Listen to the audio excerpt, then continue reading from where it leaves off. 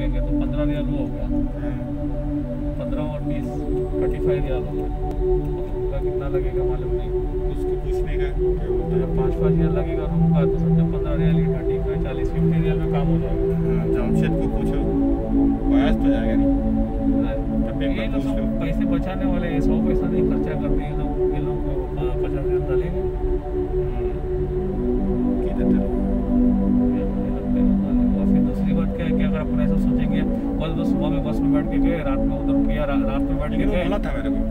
जमशेद भाई हाँ, पहले एक बार प्लानिंग बनाया था जाने के लिए। देखो पूछ के क्योंकि मेरा क्या नजीम भाई कि आदमी जाओ ना कंफर्टेबल जाओ कंफर्टेबल आओ।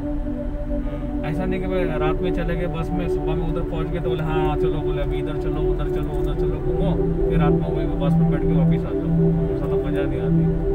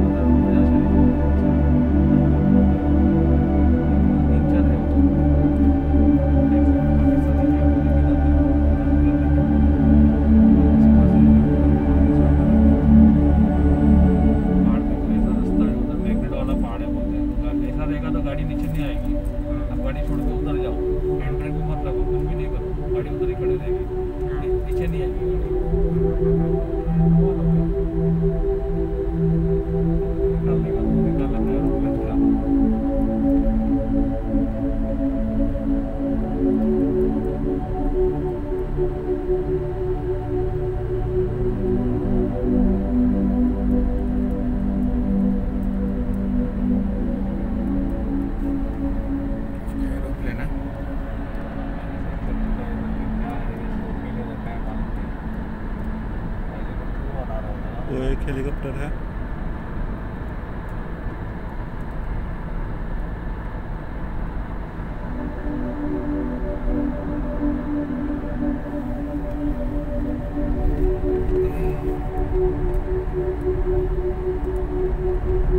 देखो, अगर नाजिम भाई आप कभी जाओगे ना, सलाह रहा तो मेरे को बोल देना मैं भी अभी छुट्टी का एप्लीकेशन देके।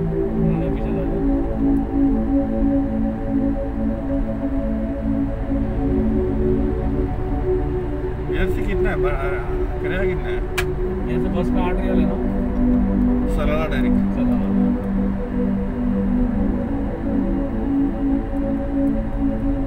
सीज़न के टाइम जाएँगे तो वहाँ पे रूम नहीं मिलता है और टिकट पहला बुकिंग करना पड़ेगी ऐसा ऑफ़ सीज़न जाने का आराम से रूम वगैरह भी मिल जाता है सब अगर अपना कैंपस है ना उससे बात करेंगे तो अरेंज करवा देगा। अपना कैंप था ना पहला उधर। अभी पता नहीं है क्या नहीं बिल्डिंग का उधर ही था ना।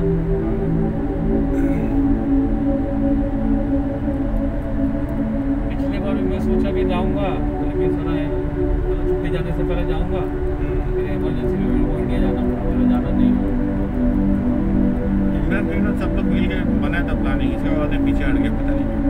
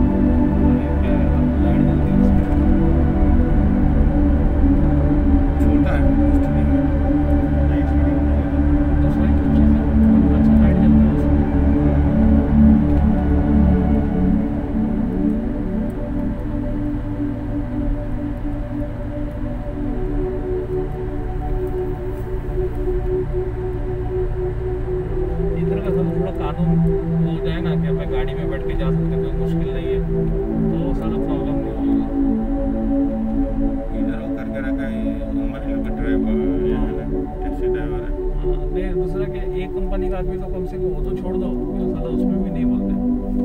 बोलते नहीं।